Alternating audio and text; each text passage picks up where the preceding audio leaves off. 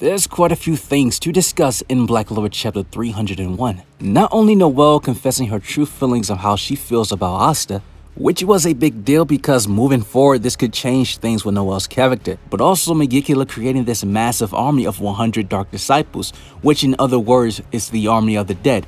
And I know immediately we all thought about Acier Silva in this case because the army is made up to steel and blood magic, which has to be very horrible in Noelle's situation in her shoes because she has to fight against her mother's magic. We got a lot to get into, and as always, before we start, guys, if you are new to the channel, be sure to subscribe with notification bells on and leave a like on this video. Now, let's talk about Black Clover chapter 301, Those Feelings.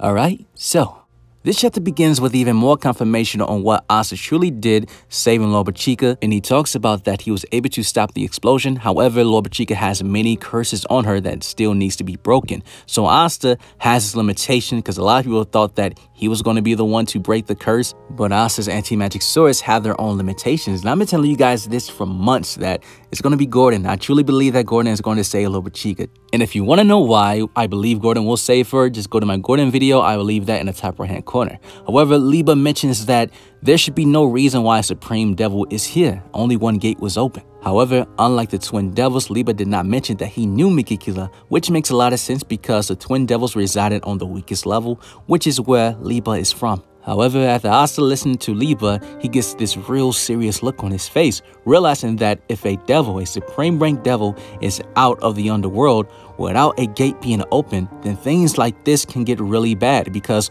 who knows if other devils have different methods of getting out of the underworld besides Megicula. And I can't lie, that is a very scary thought to have. Megicula knows about Asta because she said that, oh, this must be the anti-magic human that the others in Vanica were talking about. Asta's presence alone is a threat to her entire existence. Asta just being there is disrupting her entire plans, so she starts to add in more curses on Lolopechka and Vanica and you start seeing the curses start revolving around their chests, almost though she's trying to create another exploding life spell. But that immediately gets halted. The new additional curses that she started to create here start disappearing, all because of Charlotte start using her Briar magic to absorb the curses themselves. Her magic power was increasing. She was able to withstand the decaying world.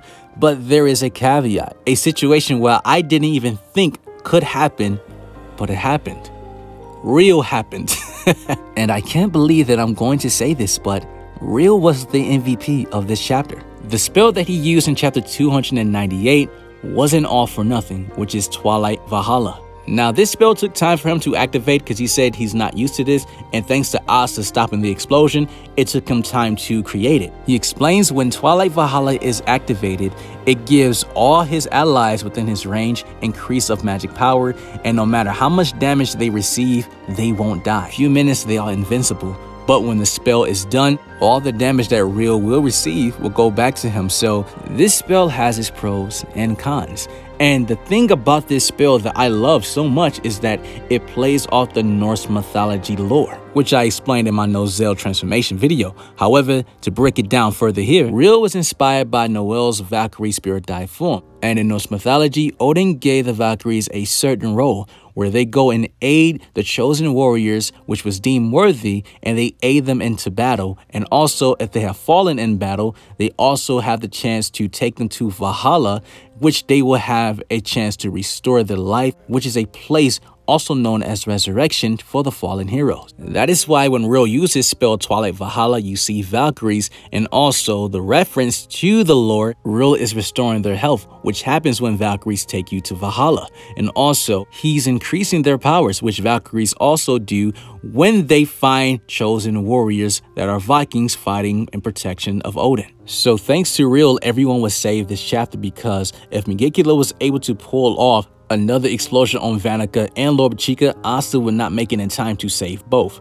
This would have been bad for everybody, so MVP to Rill because he saved everybody this chapter. Asta gives Rill props this chapter saying, I'm so happy you're alive. And Megicula, she even smiles about this like, wow, humans are utterly fascinating. Now, this is when things get really crazy this part of the chapter because Megicula does something in this chapter which I had to say when I read it the first time. I was like, okay, This is the coolest thing any devil has ever done in this series so far. As a result to the hobbies that Vanica and Megicula have, there's a multitude of dead dark disciples underneath this tower. With the power of devils and the power of Vanica and also the power of Acier Silva, which are the seals that she can control, she was able to make an attribute army full of the magic power of steel magic and blood magic, a 100-man dark disciple army. This is by far the coolest thing I ever seen a devil accomplish in this series. Besides Zagreus tricking the elves for 500 years, that was very genius. But this alone, man, oh my god, I think I like this more because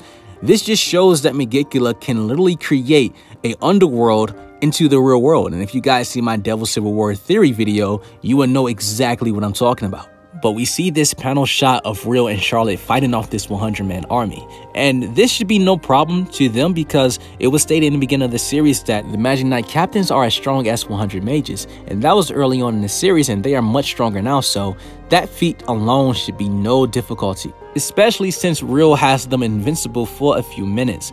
But this is bad for Asta because Asta his body is in pain after using Devil Union form. He even admits that, I'm sorry, but I am no help in this situation. Undine had to take Asta and Lolopechka away. So, while he's leaving, he tells Noelle that the rest is up to you. Now, quickly, Noelle has her doubts, but that was enough. She quickly realized that Asta encouraging her, he truly believes in her, that makes her feel a certain way. She starts to have this inner dialogue with herself. She said, just the fact that you are here, just the thought of you, gives me strength. Ah, so that's how it is. Even though I've been running away from it, I can't believe that I'm realizing it at a time like this. I like Asta. Now, this is very reminiscing to what had happened when Asta said he likes Noelle during the sports festival. However, Noelle did not know how to react to this, so she just pushed Asta away with her water magic. But for Noelle to admit this and also admit the fact that she'd been trying to run away from it, from the idea that she likes Asta, but now that she fully convinced herself that, you know what, let me put that away. I like this guy. This might change things with their dynamic moving forward. Noelle may be somewhat of a tsundere still moving forward, but not as much. She probably is going to be very open with Asta moving forward, which could compromise the relationship with Mimosa, but hey, I'm sorry Mimosa fans, but this is the ship. but we know that Asta loves Sister Lily, so does it really matter? Probably not right now.